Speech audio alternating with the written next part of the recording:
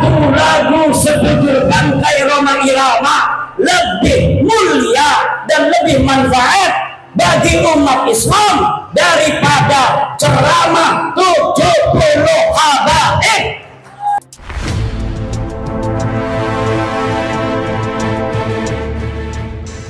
Sekarang saya tantang cucu-cucu Sunan Ampel yang ada di Surabaya. Bisa tidak mereka membuat rizik siap minta maaf kepada keturunan Sunan Ampel Surabaya.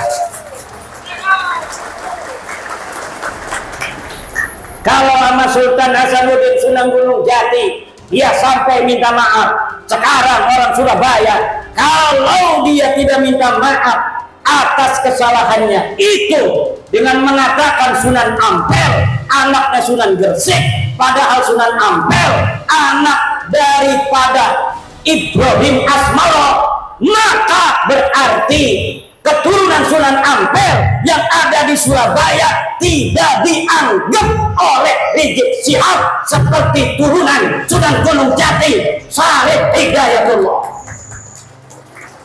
Coba anak eta turunan Sunan Ampel dia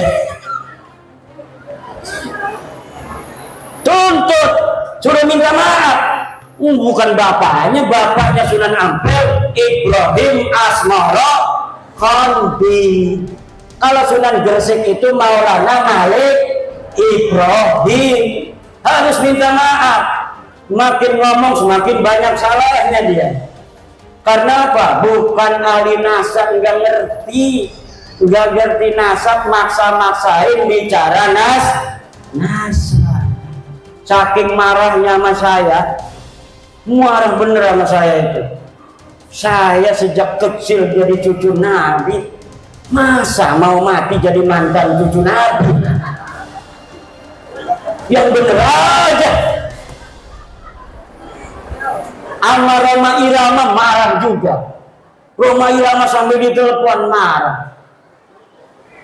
Kata Roma Irama, siapa lu negur-negur gue? Hebat juga tuh Bang Haji. Bang Haji Roma kenal bu?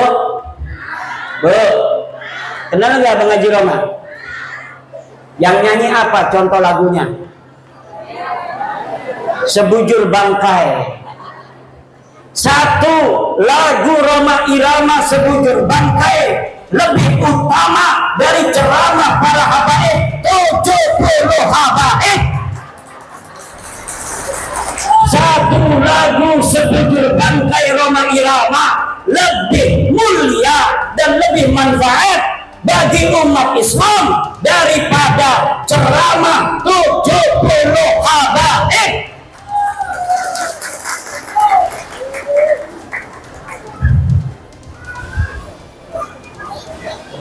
Kenapa lagunya Roma Irama kalau didengerin? Kalau lagunya masalah akhirat, kaya-kaya neraka di depan mata, betul? Betul nggak?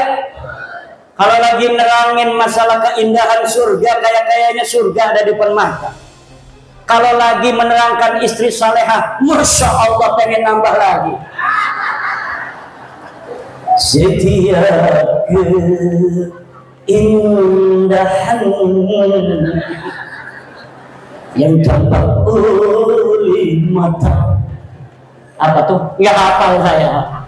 Ada kiai yang hafal seluruh lagu-lagu Roma Irama namanya Kiai Haji Raden Syarif Rahmat itu di rumahnya bukan kitab dia mah kaset semua.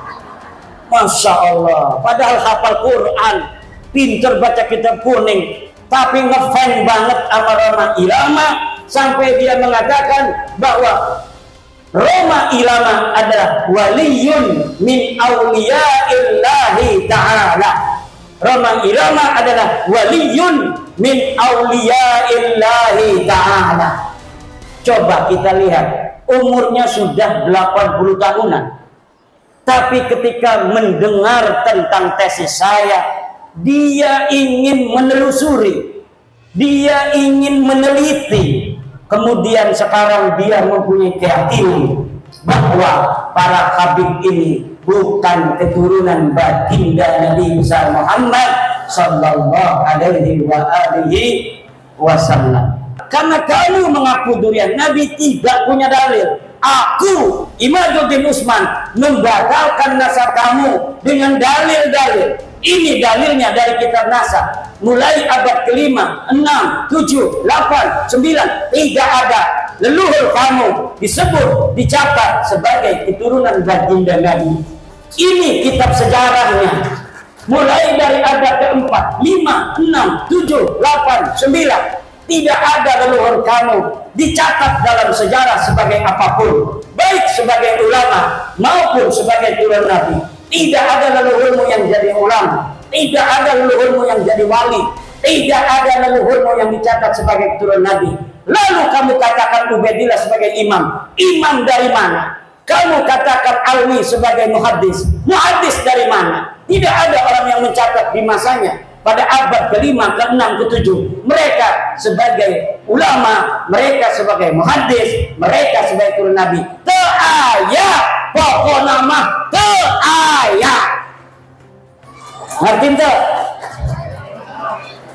Ya kalau sudah tidak ada dalil, premen maning. Imat tolong si husnudon be.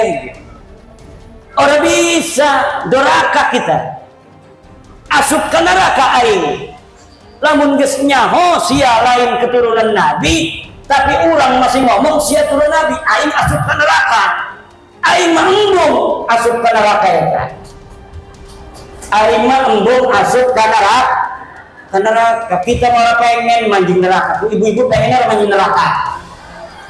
Bu pengen orang manjing neraka. Hari buatan jangan gebak lawi turun nabi maning ya. Lamun masih nganggep turun nabi maning neraka.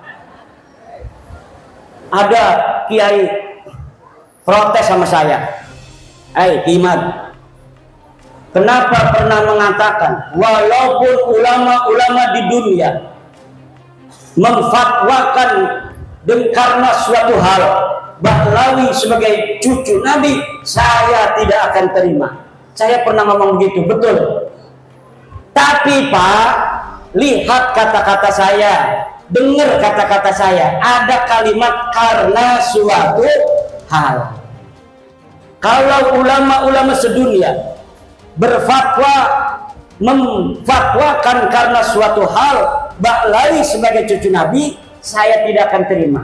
Itu kalau dia berfatwanya tidak pakai dalil karena suatu hal suatu halnya itu misalnya pertemanan seperti Syekh Ali Jum'ah Mesir karena berteman dengan Habib Umar bin Hafid dia kemudian mengisbat Bahlawi. Syekh Ibrahim bin Mansur karena dia sama-sama nasabnya putus dianggap putus oleh orang Arab Haklo grupnya juga bukan dia satu Ibrahim bin Mansur. Akhirnya Ibrahim bin Mansur sekarang membantu Baklawi Baklawi membantu Ibrahim bin Mansur. Itu namanya karena suatu hal. Kalau mereka datang dari seluruh dunia membawa dalil maka kita terima walaupun itu akan mustahil mustahil ditemukan dalil-dalil tentang ketersambungan baklawi. Kenapa saya berani mengatakan mustahil? Karena algoritmanya tidak memungkinkan. Kenapa tidak memungkinkan? Karena di abad 9 saya sudah ainul yakin melihat dalil-dalil bagaimana mereka membangun nasab itu di abad 9.